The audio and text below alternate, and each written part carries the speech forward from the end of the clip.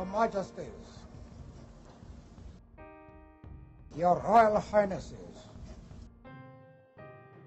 distinguished guests, Greetings to the world. I go by the name Asanda, original from Eastern Cape.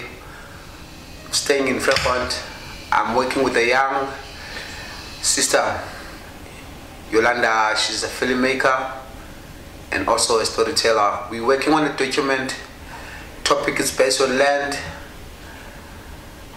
We're gonna be doing a talk to different leaders, trying to find clarity and raising questions about these issues that we're facing in the black uh, communities and why black people suffer. You are welcome to watch this journey and enjoy.